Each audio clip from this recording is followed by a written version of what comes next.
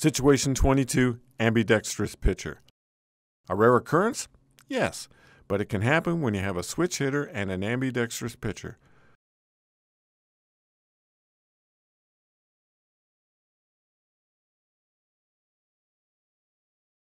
What should the umpire do? A.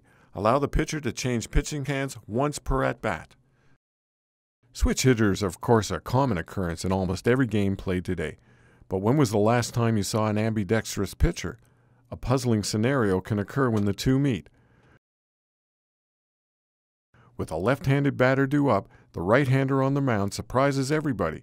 He changes glove hands and decides to pitch left handed. Unbeknown to him, the batter also has a surprise up his sleeve. He's a switch hitter. Now facing a left handed pitcher, the batter moves into the right hander's batter's box. Seeing this, the pitcher switches glove hands once again and prepares to pitch right handed to the right handed switch hitter. Not to be outdone, the batter moves back to the left hand side. As the umpire, how far do you let this routine continue? The umpire shall allow the pitcher to change pitching hands one time per batter. If the batter switches to the opposite side and the pitcher counters by switching back to his right hand, the umpire shall call time and inform the pitcher that he has to complete pitching to the batter left handed. The pitcher is allowed only one change per at bat.